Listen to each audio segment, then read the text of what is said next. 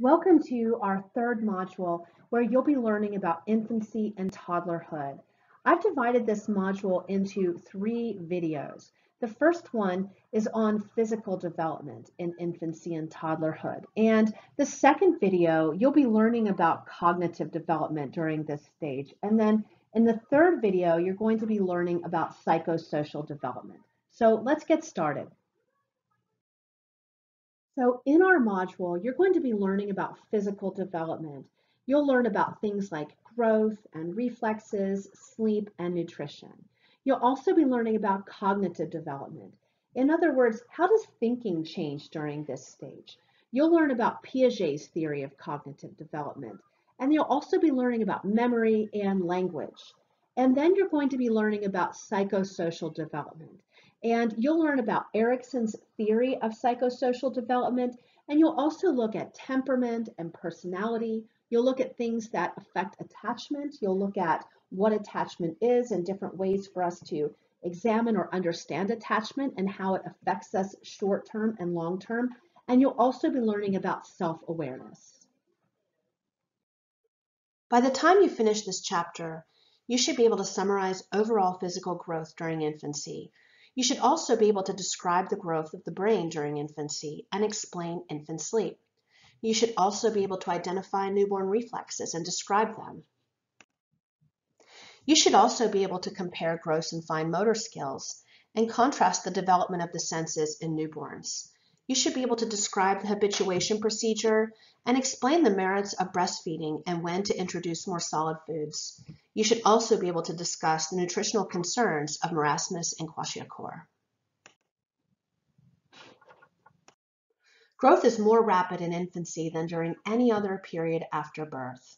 Typically, infants double their birth weight by four months of age and triple their birth weight by the first year. The rate of growth is so rapid, if it continued throughout childhood, a typical 10-year-old boy would be nearly as long as a jumbo jet and weigh almost as much. Right after birth, babies lose 5% of their weight. In addition, we start to see a change in proportions. At birth, the head is 25% of our length, whereas by adulthood, it's 20% of our length. So infants are not simply scaled down versions of adults. Compared with adolescents and adults, infants and young children look top-heavy because their heads and trunks are disproportionately large. As growth of the hips, legs, and feet catches up later in childhood, their bodies take on more adult proportions. Here in figure 3.1, you can see an image that shows you the changes in proportions that people experience throughout their lives from infancy on into adulthood. The physical changes that we see as infants grow are very impressive. Even more awe-inspiring are changes involving the brain and the nervous system. Infants' feelings of hunger or pain, their smiles or laughs, and their efforts to sit upright or to hold a rattle all reflect the functioning of the brain and the rest of the emerging nervous system.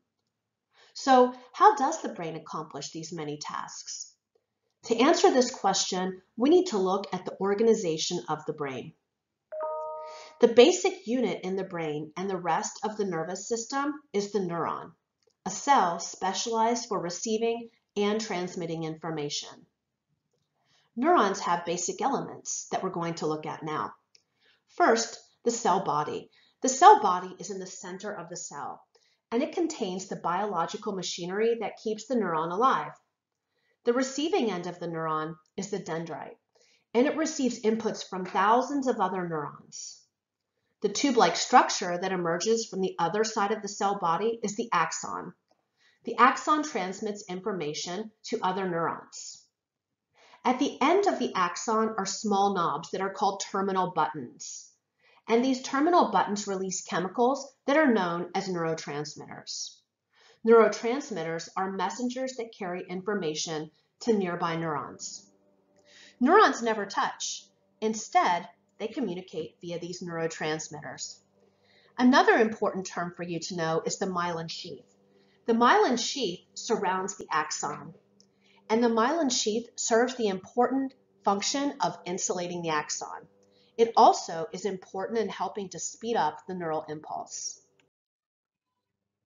Here's figure 3.2, where you'll see the components of the neuron. The first thing you'll see on the left-hand side is the cell body, and then you'll see the dendrites. And remember, the dendrites receive messages from other cells. And then we have the axon. The axon is what gives the neuron its length, and it's covered by the myelin sheath. The myelin sheath helps to speed up the impulse and it insulates the axon. You'll also notice the terminal buttons, and the terminal buttons release neurotransmitters. And remember, neurotransmitters are chemical messengers that facilitate the transmission of information from one neuron to the next. And also remember that neurons never touch. Because of that communication, they don't need to. They rely on neurotransmitters. Let's take a look at some of the changes that happen in neurons in infancy. The first thing that we see happening is synaptogenesis.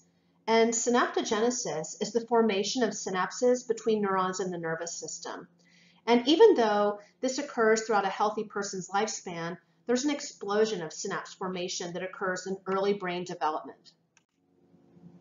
Another important term is synaptic blooming, and this is a period of rapid neural growth. And this is followed by synaptic pruning. So after the period of rapid growth in synapses, the brain starts to remove synapses that it no longer needs. So once the brain forms a synapse, it can either be strengthened or weakened. And this depends on how often the synapse is used. In other words, this process follows the use it or lose it principle. Synapses that are more active are strengthened, and synapses that are less active are weakened and ultimately pruned. The process of removing these irrelevant synapses during this time is what is referred to as synaptic pruning. Babies are born with relatively few myelinated axons. That's one reason that infants can't see well and can't do much with their hands other than grasping and batting at objects.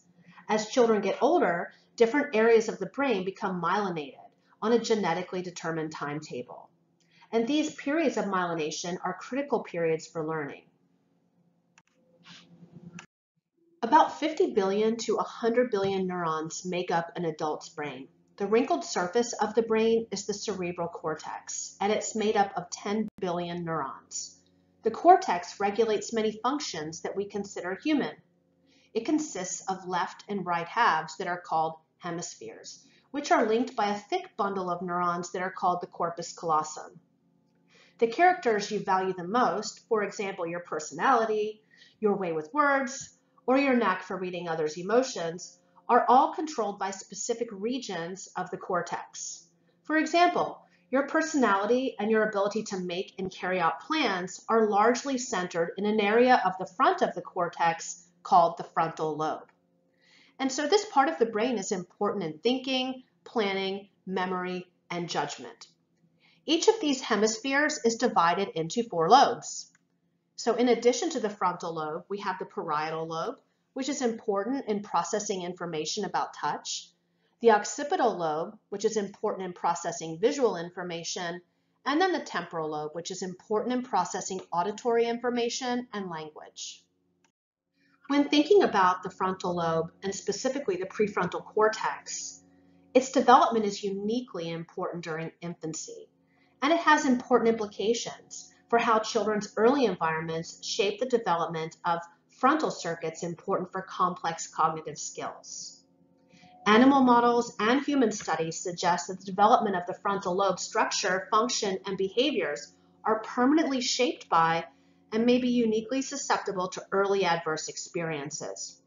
So fortunately, there's growing awareness across the scientific community, government organizations, private organizations, and corporations, and the general public that children are not just resilient. The adverse early experiences can lead to a myriad of harmful outcomes at both the individual and societal level. One thing we'll be looking at later in the semester is what is known as adverse childhood experiences.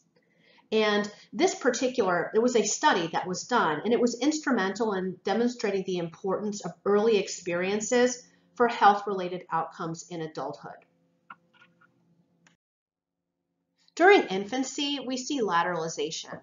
And this is where different functions of the brain become localized primarily on one side of the brain or the other. We also see neuroplasticity. This is the brain's ability to change both physically and chemically in response to environmental stimulation, hormonal processes, and medications.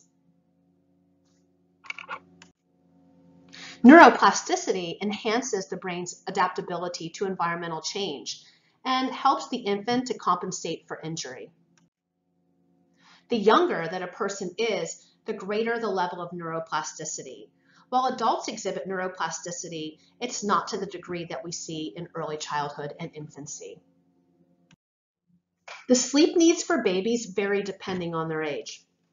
Newborns do sleep much of the time, but their sleep is in very short segments. As the baby grows, the total amount of sleep slowly decreases, but the length of nighttime sleep increases. So generally, newborns sleep about eight to nine hours in the daytime and about eight hours at night. And there is, of course, some variation. But they might not sleep more than an hour or two at a time. Most babies don't start sleeping through the night, meaning about six to eight hours, without waking until they're about three months old, or until they weigh about 12 to 13 pounds. And about two-thirds of babies are able to sleep through the night on a regular basis by about six months. You also notice here some important terms. One is polyphasic, and this means that there are several sleep periods throughout the day. You'll also notice here that infants or newborns spend about 50% of their sleep time in REM. So when parents watch their baby sleep, they might be wondering, is their baby dreaming? Well, while we, while we may not know what they're dreaming about, the answer is, of course, yes. In fact, their baby is dreaming a lot more in the first few months of life than they ever will at any other time. So REM stands for rapid eye movement, and it's called this because their eyes move quickly in different directions during this sleep phase. And this is due to activity in the brain, which is how dreams happen. So dreams can also happen in other phases of sleep, but they're most vivid in REM. The time spent in sleep and in REM decreases with age. REM is very important for everyone to get, but it's especially important for babies. It might not sound very restful, but it's incredibly important. Some of the benefits include learning and memory. So studies have shown that humans have trouble retaining information in their short and their long-term memory without the support of REM.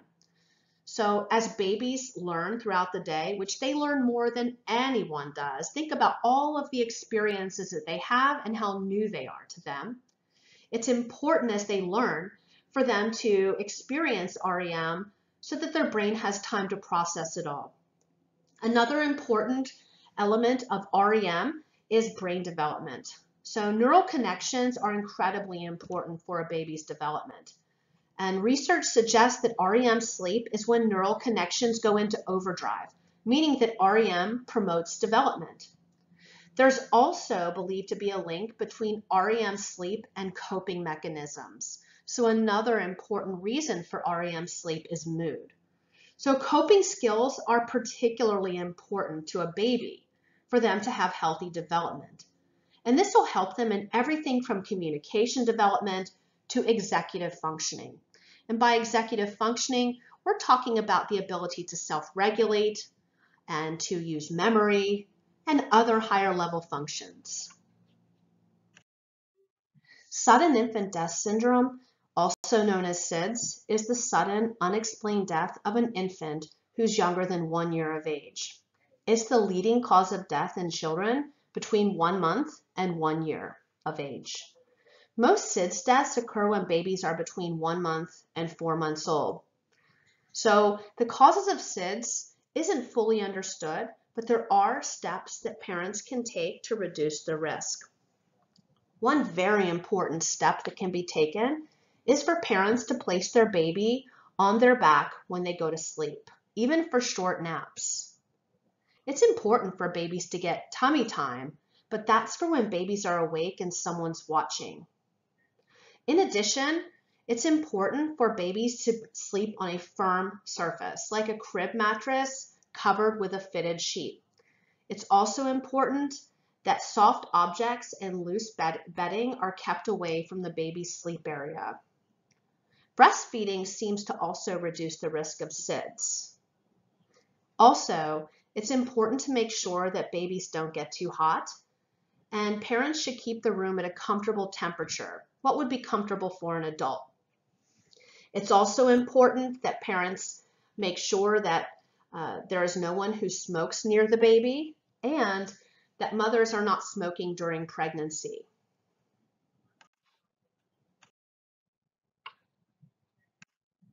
In the 1990s, there was a campaign called Back to Sleep, and it still has continued. And in this campaign, nurses and doctors strongly encouraged parents to have their babies sleep on their backs. Years ago, people used to think that it was best to have babies sleep on their stomachs, that they would sleep better. And even if a baby might sleep better, it's tremendously safer for them to sleep on their backs. It's extremely important that parents do that.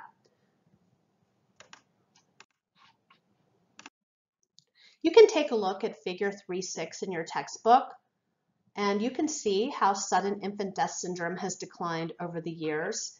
And this is very attributable to the Back to Sleep campaign and the education that nurses and doctors have provided to parents. Newborns are well prepared to interact with their world because they're born with a rich set of reflexes. Reflexes are unlearned or involuntary responses that are triggered by a specific form of stimulation. Some reflexes help newborns get the nutrients that they need to grow. For example, the rooting reflex and the sucking reflex both ensure that the newborn can begin a new diet of life-sustaining milk. Other reflexes protect the newborn from danger in its environment. For example, the eye blink helps newborns avoid unpleasant stimulation and other reflexes are the foundation for larger voluntary patterns of motor activity. For example, the stepping reflex is a precursor to walking. Reflexes also help reveal whether the newborn's nervous system is working properly. So for example, infants with damage to the sciatic nerve don't show the withdrawal reflex. In the same vein, uh, many reflexes normally vanish during infancy. If they linger, this suggests a problem in the developing nervous system. During infancy, babies progress from reflexes to voluntary movement. We have what's called the cephalocaudal pattern, and this is exemplified by a gain in head control before the ability to walk. We also have the proximodistal pattern, and this is exemplified by an infant grasping with their whole hand first and then their fingers later. With each of these, we see an average age as well as a range of typical ages. So for example, the average age of sitting is seven months, with a range of anywhere typically between five and nine months of age. A major accomplishment of infancy is the skilled use of the hands. Newborns have little apparent control of their hands, but as they approach one year of age, they're extraordinarily talented. At about four months of age, infants successfully reach for objects. And these early reaches can look kind of clumsy because they don't move their arm and hand smoothly to the object. Instead, their hand moves a short distance. It then slows down and moves again in a slightly different direction. And then this is repeated until the hand finally contacts the object. As infants grow, their reaches have fewer movements but they're still not as continuous and smooth as reaches by older children and adults. Grasping is a type of fine motor skill, and it poses a different challenge from reaching. Now, when, when infants are beginning to grasp, they have to coordinate movements of individual fingers to grab an object. So it becomes more efficient during infancy as they are practicing this and as their brain is developing. Most four-month-olds use their fingers to hold objects, but not until seven or eight months do we begin to see them positioning their hands to make it easier to grasp an object. If trying to grasp a long, thin rod, for example, they might place their fingers perpendicular to the rod, which is the best position for grasping. And then they reach more slowly for smaller objects that require more precise grip. So at four months of age, we see what's called the palmar grasp. And this is the use of fingers and the palm, but not the thumb, to grasp objects. By around nine months, we see the pincher grasp. And this is the use of the thumb and the forefinger to grasp an object. In infancy, we see the use of gross motor skills. And this involves the use of large muscle groups that control our head, torso, arms, and legs. These are larger movements, and they're generally developed before fine motor skills. Some examples of gross motor skills include the baby eventually being able to lift their head up when on its stomach, the baby being able to move their head from side to side when lying on their back, and eventually the baby sitting with little support at the waist. At birth, an infant's vision isn't very well developed. They can only focus about 8 to 16 inches from their face, and they only see black, white, and gray. As early as the first week, babies begin to respond to movement, and they begin to focus on faces. Soon after that, the baby will begin to smile, as a parent or caregiver comes close. And this is an important sign that the baby sees and recognizes the caregiver. Over the next 10 to 12 weeks after birth, the parent will begin to notice the baby's following moving objects and recognizing things, especially toys and mobiles that have bold or geometric patterns. As their color vision begins to develop, babies see red first and then they will see the full spectrum of colors by the time they reach five months of age. So when do babies begin to see clearly? Well, depth perception and eye-hand coordination begin to develop when infants reach approximately five months or six months, so around that point in time. From about four to six months, that's when babies begin to reach out and try to touch objects. And this is something that previously tended to only happen by chance. So you all have probably heard of the term 20/20 vision, and this is typically thought of as normal visual acuity. By six months of age, a child's visual acuity is around 20/100. So a child won't reach adult levels of visual acuity until they reach about age four or five. As you've read, there are multiple benefits to breastfeeding. Interestingly, there was a study that was published in January 2007 in the American Journal of Clinical Nutrition. And the article authors suggested that babies who were breastfed had significantly better vision as young children than babies who were fed formula. So um, because the scientists had previously thought that there was a chemical known as DHA that was found in higher concentrations in breast milk than in formula. And this enhances the vision of developing children. What they did is they randomly added DHA to the formulas of some of the non-breastfed children. So as you might have heard, DHA, it's an omega-3 fatty acid, and um, some of you may know that it's added to many brands of infant formula, and these are marketed as being closer to breast milk. Some studies have suggested that children who consume formulas that are fortified with DHA have higher cognitive function than children who drink unfortified formula. Um, but these studies haven't compared DHA fortified formulas to breast milk itself. So going back to vision was very interesting was that breastfed children were significantly more likely to score higher on tests of depth perception than formula-fed babies, and that there was no significant difference in depth perception between those who were fed formula and those who had received the DHA supplement and those who had not. I think it's important to keep in mind that many mothers want to breastfeed and that's not always a possibility for mothers. And there are certainly many things that mothers can do to provide a very nutritious environment and nutrient-rich environment or opportunities for their baby. But this is an interesting study that does show the benefits of breastfeeding when it comes to vision. Hearing is almost fully developed at birth, and it's present by the seventh month of prenatal development. Please be sure to read about the cat in the hat study described in your book. In infancy, the baby has the ability to recognize familiar voices and sounds, and it can initially differentiate between many language sounds, but this ability disappears. The ability to experience touch and pain, just as you and I do, is fully developed at birth, and so too is smell and taste. As many of you may know, newborns do prefer sweet tastes, and they also recognize and prefer their mother's scent. Just like adults, infants prefer to pay attention to new and interesting things. If left in the same environment, over time they become accustomed to their surroundings and they pay less attention to them. This process is called habituation. Habituation can be a very useful way to test cognitive and perceptual processes. Please be sure to read the section in your book where this is described.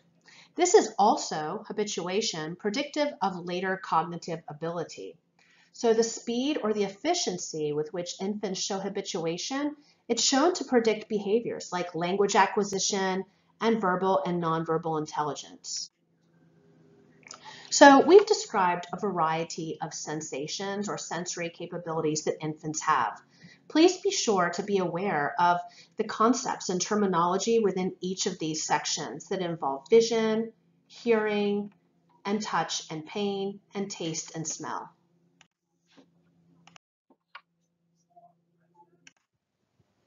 The American Academy of Pediatrics recommends that babies be exclusively breastfed for the first six months and that breastfeeding continue for at least 12 months and thereafter for as long as it's mutually desired.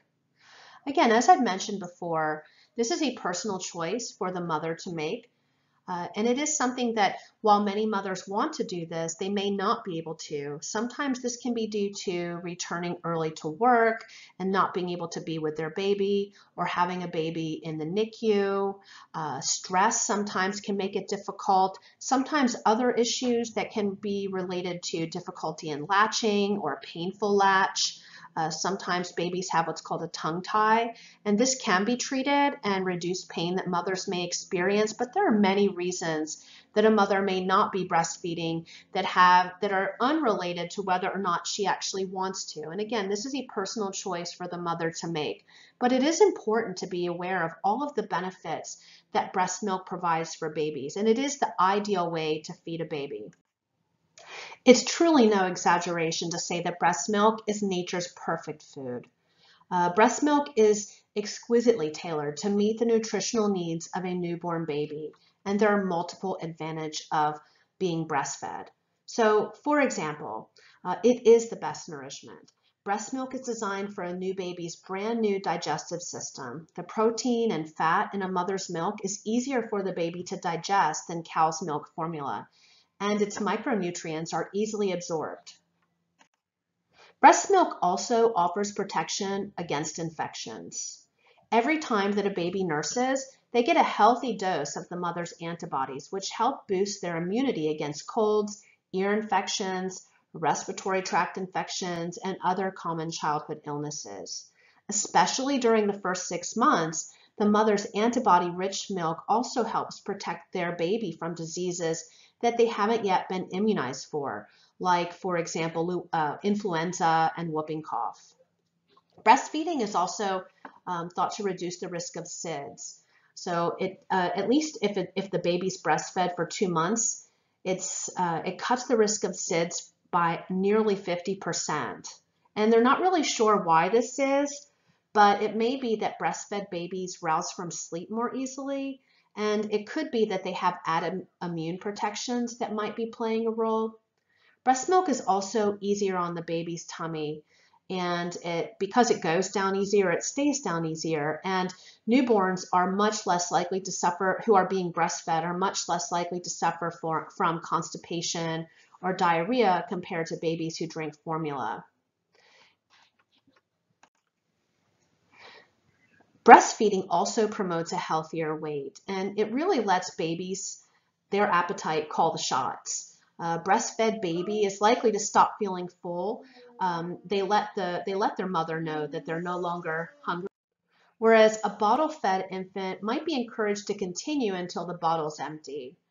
So what's interesting is that these, um, because they're able to better regulate what they're consuming in infancy, um, not only is this beneficial then, but these weight-related benefits may be persisting for years. And then there was a major study that was done over 16 countries, and they found that babies who were exclusively breastfed for six months, that there was a, for those babies, there was a reduction in the risk of childhood obesity by nearly 25%.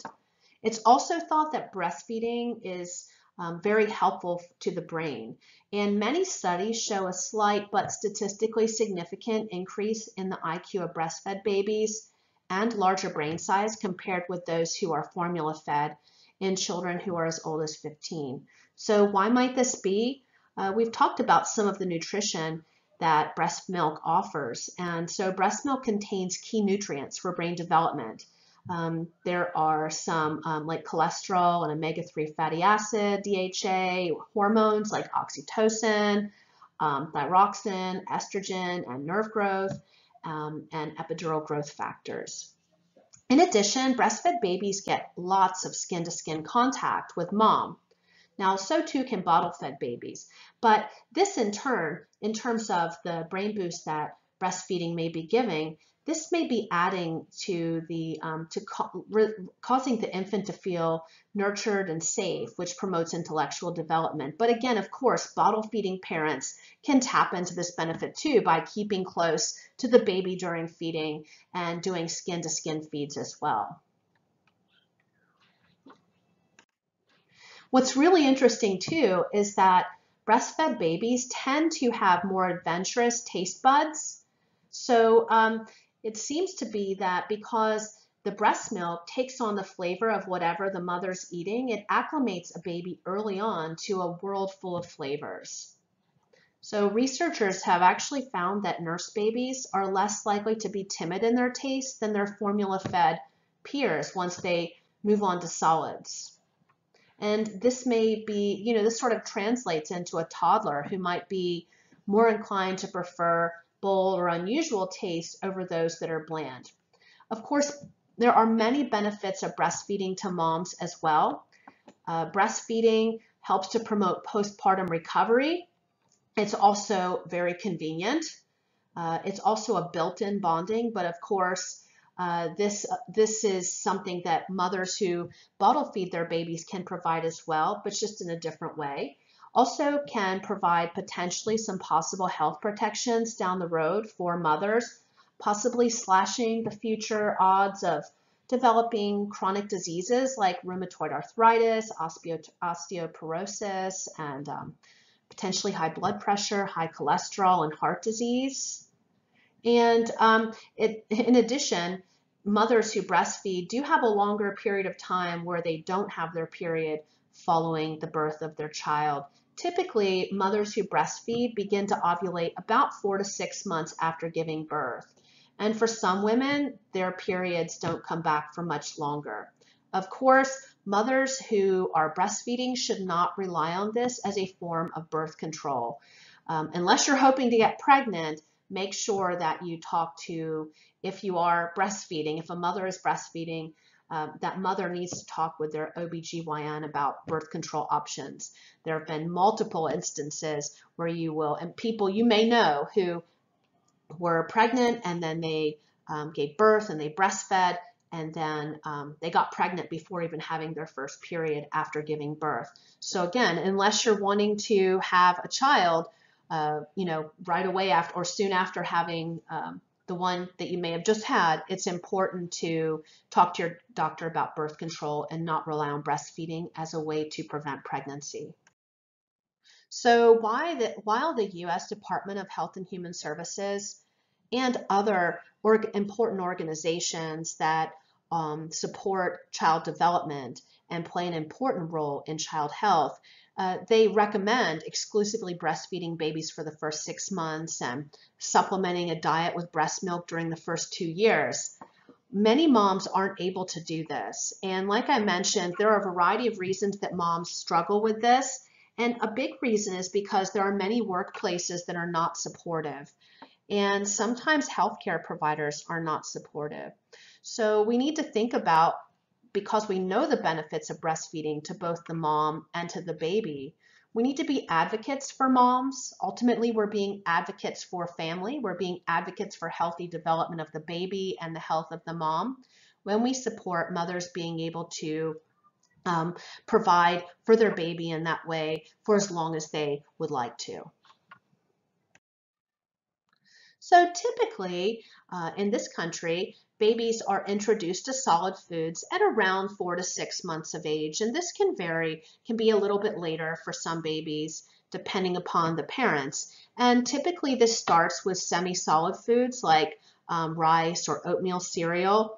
And it's important to introduce one new food at a time.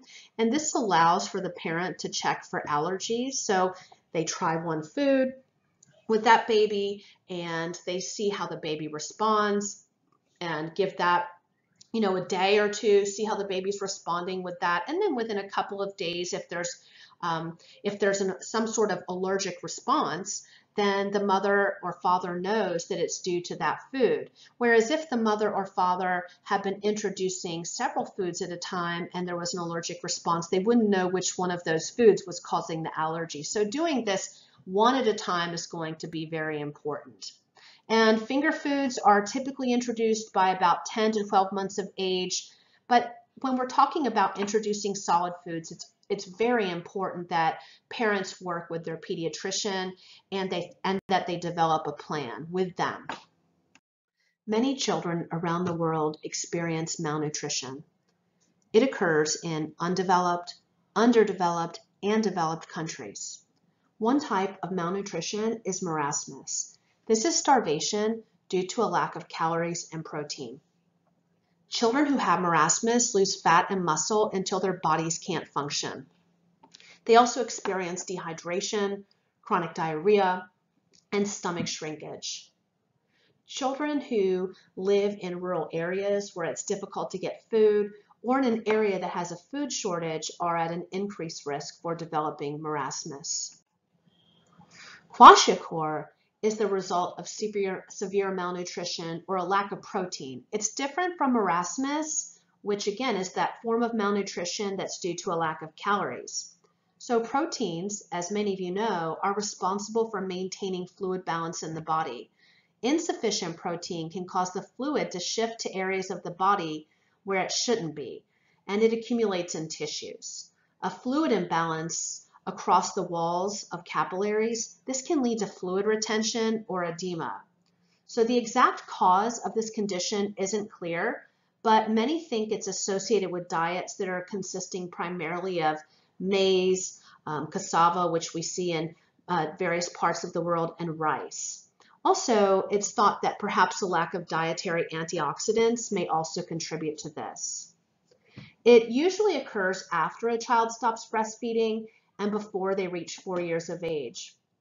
And it may occur because the child's no longer getting the same nutrients and proteins from their diet.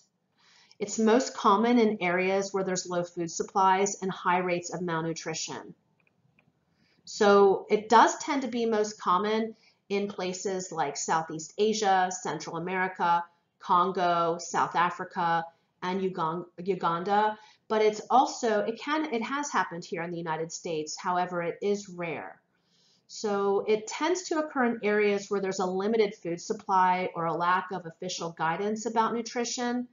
And it's more common in areas that experience low food security, maybe due to a natural disaster, drought, conflict, or uh, low economic activity.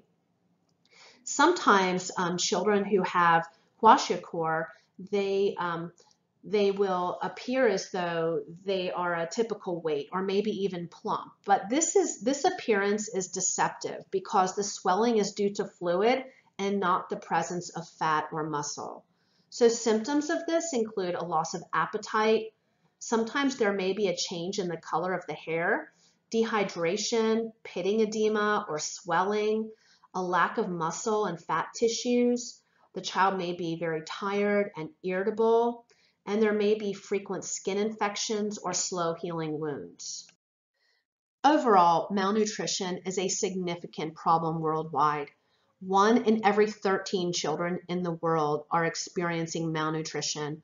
Most of these children live in Asia and in Africa, but we know that there are children living here in the United States who suffer from malnutrition as well. It is caused primarily by severe food shortages, regional diets that might lack certain proteins and vitamins, and infectious diseases that inhibit appetite. The possible effects of malnutrition are numerous. So just a few are listed here. The most significant and devastating effect is death. In addition, children who experience malnutrition are at an increased risk of having lower IQ scores, of having behavioral and attention problems. And I want to mention that early malnutrition has the worst effects. This is because we can think about brain development and how rapid brain development is happening in early life and how much brain development depends upon good nutrition. So what have you learned so far? Well, you've learned about the overall physical growth that's happening during infancy and the growth of the brain during this stage. You also learned about infant sleep and infant reflexes. You learned as well about gross and fine motor skills and the development of the senses in newborns. You learned about the habituation procedure, and you learned about the benefits of breastfeeding and when to introduce more solid foods.